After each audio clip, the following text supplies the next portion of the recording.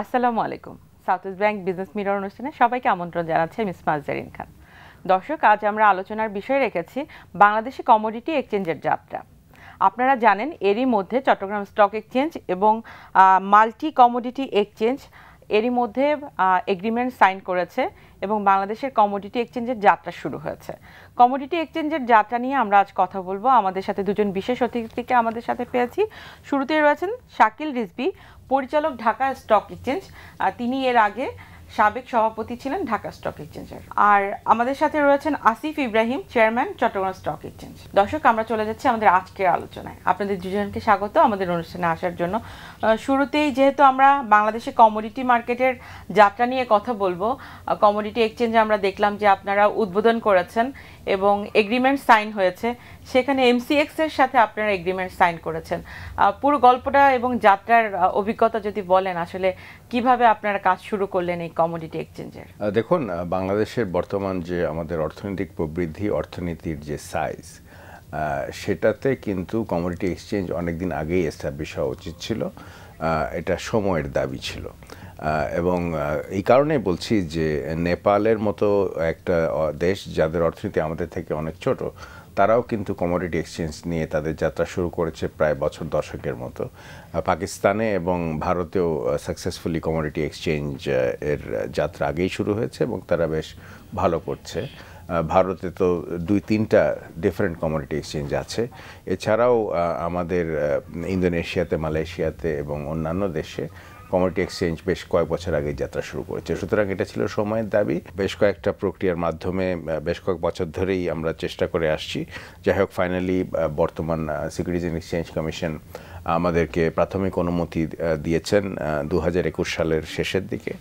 এবং তারপরে আমরা এটার জন্য বিভিন্ন কনসালটেন্সি যারা দেয় তাদের সঙ্গে যোগাযোগ করেছি। কারণ কমিউনিটি এক্সচেঞ্জ সম্পর্কে ধারণা পত্র কিংবা এটার জন্য যে ধরনের গবেষণা কিংবা এটা ধরনের যে ধরনের টেকনিক্যাল অ্যাসিস্ট্যান্স প্রয়োজন সেগুলো আমাদের স্বীকার করতে হবে যে সেগুলো আমাদের নেই। যার কারণে we have to take collaboration এবং এটা হচ্ছে টেকনিক্যাল কনসালটেন্সি তো সেই জন্যই আমরা বেশ কয়েকটা বিদেশি সংস্থার সঙ্গে আমরা আলোচনা করেছি। যেখানে ইন্দোনেশিয়া ছিল বুর্জা মালয়েশিয়া ছিল তারপর প্রাইড গ্রুপ ইউই ছিল। শেষ পর্যন্ত আমরা এমসিএক্সের সঙ্গে দেখলাম যে এমসিএক্সের ভেতরে তাদের যে ইন্টারনাল রিসোর্সগুলো আছে এবং তারা সাকসেসফুলি এটা তারা ভারতে করতে পেরেছে এবং দেখলাম যে that is more suitable for us এবং সে কারণেই আমরা প্রথম প্রাথমিক পর্যায়ে একটা এমওইউ করি তাদের সঙ্গে এবং সেই এমওইউ থেকে একটা এগ্রিমেন্ট হয় যে এগ্রিমেন্টটা চট্টগ্রাম স্টক এক্সচেঞ্জ বোর্ড অনুমোদন করে এবং পরে সেটা বাংলাদেশ সিকিউরিটিজ অ্যান্ড এক্সচেঞ্জ কমিশনে পাঠানো হয় এবং Bangladesh securities and exchange commission সেই এগ্রিমেন্টটা ওয়েটিং করে দেন। তারপরে এমসিএক্স বোর্ডে ওটা অনুমোদিত হয় এবং তাদের ক্ষেত্রেও তাদের যে রেগুলেটর আছে সেখানেও এটা একটা বিষয় আছে। তো সবগুলো প্রক্রিয়া সম্পন্ন করে সাম্প্রতিককালে একটা এগ্রিমেন্ট আমরা সাইন করেছি দুই পক্ষ। প্রাথমিক যাত্রা এটা শুরু হলো আপনি বলতে পারেন। ইতিহাসের একটি মাইল ফলক বাংলাদেশে কমোডিটি এক্সচেঞ্জের যাত্রা শুরু হলো। আমাদের সাথে আছেন ঢাকা স্টক এক্সচেঞ্জের পরিচালক শাকিল রিজবি আপনি তো সভাপতির দায়িত্ব পালন করেছেন এবং প্রায় সময় টকশোতে বলতেন যে এই মুহূর্তে কমোডিটি এক্সচেঞ্জের প্রয়োজন রয়েছে এবং সেটি আসলে সফলভাবে কাজ শুরু করল চট্টগ্রাম স্টক এক্সচেঞ্জ আপনার কাছে কি মনে হয় যে বাজারের এই যে একটা বড় ধরনের পরিবর্তন এসেছে এবং আমরা দেখছি যে ইউক্রেনের যুদ্ধের পর এবং সেটিও একটা কিন্তু প্রভাব বিস্তার করেছে, শ্রীলঙ্কার বিষয়টি রয়েছে। এরই মাঝে আফটার কোভিডের একটা ইস্যু আছে। তো সব কিছু মিলিয়ে কিন্তু ক্যাপিটাল মার্কেটের ডেভেলপমেন্টে যতটুকু কাজ করার প্রয়োজন ছিল, সেখানে কিন্তু সিকিউরিটিজ অ্যান্ড এক্সচেঞ্জ কমিশনও রোড শো করেছে। আপনার কাছে কি মনে হয় যে চিটন স্টক এক্সচেঞ্জ যে কমিডিটি এক্সচেঞ্জ শুরু করল? এখানে আসলে মার্কেটের জন্য কতটুকু রিস্ক ম্যানেজমেন্টে সহযোগিতা করবে? জি, ধন্যবাদ আপনাকে। এটা তো চিটাং স্টক এক্সচেঞ্জ যে কাজটা শুরু করছে এটা অবশ্যই ধন্যবাদ পাওয়ার যোগ্য। এবং আমাদের সময়ের দাবি, বাংলাদেশের অর্থনীতি যেভাবে বড় হচ্ছে এবং কমোডিটি এক্সচেঞ্জ একটা দরকার, এটা বলার অপেক্ষা রাখে না। কিন্তু এই কমোডিটি এক্সচেঞ্জ প্রতিষ্ঠা করতে অনেক চ্যালেঞ্জ আছে। সেই সেই সমস্ত চ্যালেঞ্জ মাথায় নিয়েই চিটাং স্টক এক্সচেঞ্জ অবশ্যই সেই কাজগুলো করবে। এবং যেহেতু তারা একটা ভালো কনসালটেন্সি বা এমসি এক্স সাথে নিয়েছে, আমার মনে হয় একটা ভালো উদ্যোগ এবং এটা মানে একেবারে তাৎক্ষণিক হবে না ওই এক্সচেঞ্জ বাট এটা সময় লাগবে এটা প্রতিষ্ঠা করতে। আমি আশা করি এটা ভালোভাবেই কাজ করবে বাংলাদেশের অর্থনীতিতে। এবং আমাদের প্রাইস যে কমোডিটি প্রাইসগুলো যাতে ভালো থাকে সেদিকেও এই কমোডিটি এক্সচেঞ্জের বেশ ভূমিকা থাকবে।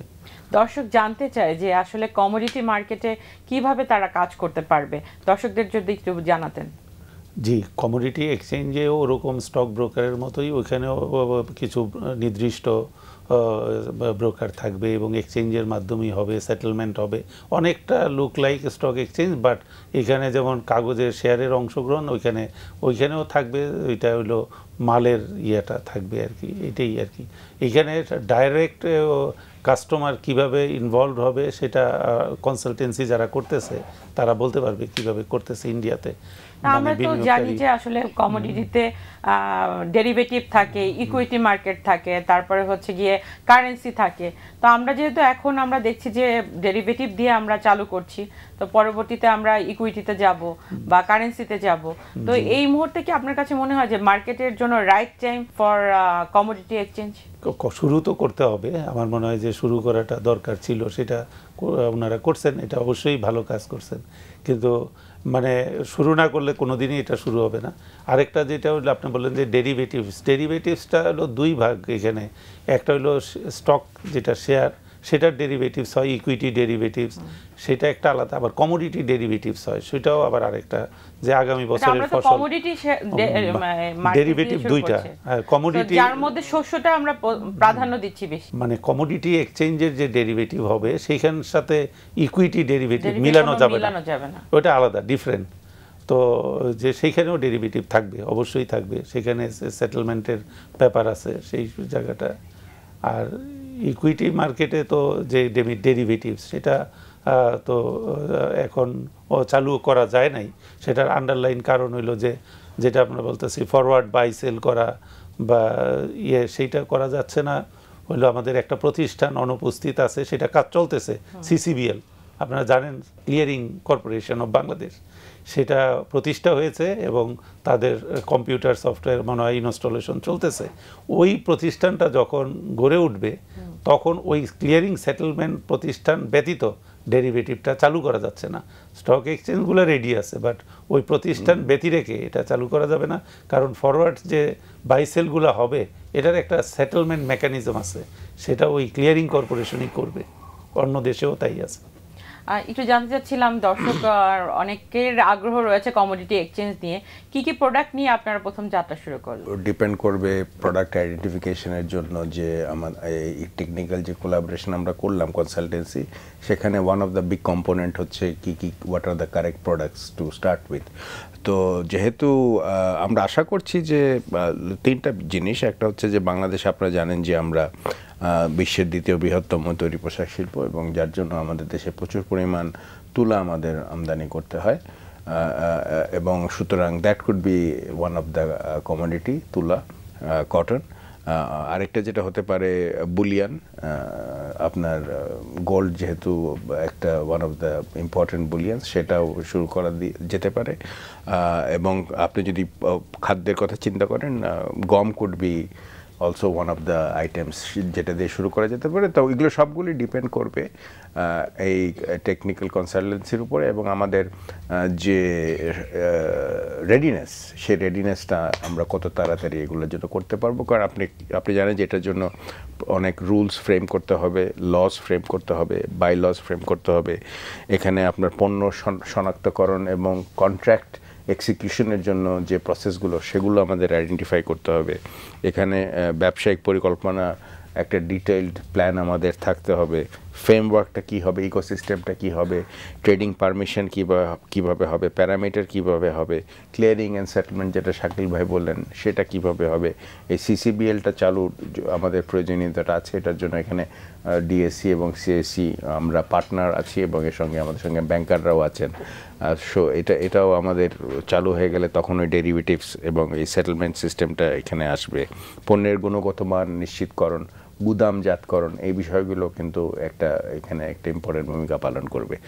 সুতরাং it will take some time কিন্তু ইনিশিয়ালি যাত্রাটা শুরু হলো। সো আমরা আশাবাদী যে যেহেতু এটা আমাদের দেশের জন্য অত্যন্ত প্রয়োজনীয় একটা বিষয়, কারণ এই ফিউচার কন্ট্রাক্টসের কিন্তু প্রভিশন কমোডিটিতে আমাদের দেশে এখনও নেই। এই একটা স্ট্রাকচার্ড কমোডিটি ইকোসিস্টেম যদি আমরা বাংলাদেশে তৈরি করতে পারি, তাহলে হয়তো আমরা নিশ্চিত করতে পারব যে একজন রুরাল লেভেলে যে ফার্মার আছে সে তার পণ্যের দুটো জিনিস নিশ্চিত হবে। একটা হবে যে তার he will have a buyer assured buyer in the future আরেকটা হচ্ছে যে একটা গ্যারান্টিড প্রাইস ফিউচার কন্ট্রাক্টে যদি সে এক্সিকিউট করতে পারে তাহলে সেটা সে এনশিওর্ড হবে এবং অ্যাসিওর্ড হবে। শস্যের দিক থেকে যখন আমরা দেখি যে কমোডিটি মার্কেটে যখন তারা নিয়ে আসবে একটা তো নির্দিষ্ট প্রাইস সেট করে দেওয়া হবে। যে ধরেন একটা আম তার দাম হয়তো তিরিশ টাকা কিন্তু যে কেউ হয়তো এর বেশি অনেক সেল করতে পারবে কিন্তু যখন ফার্মারের কাছ থেকে নিয়ে আসা হবে হ্যাঁ। তখন হয়তো তিরিশ টাকা সেল সেট করে এই- এই জন্য এখানে কমিউনিটি এক্সচেঞ্জ এস্টাবলিশ হলে ওয়ান আরেকটা কি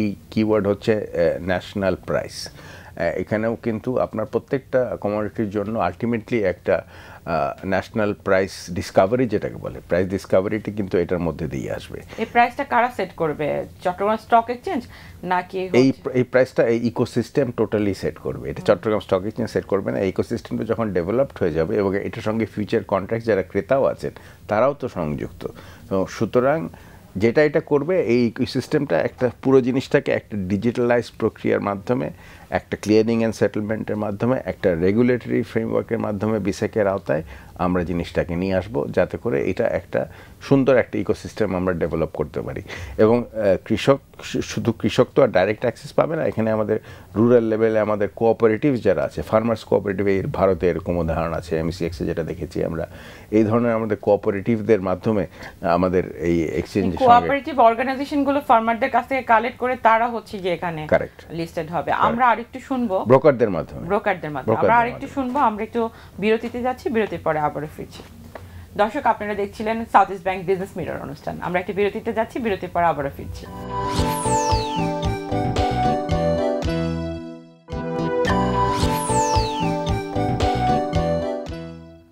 South East bank business mirror অনুষ্ঠানে আবার আমন্ত্রণ।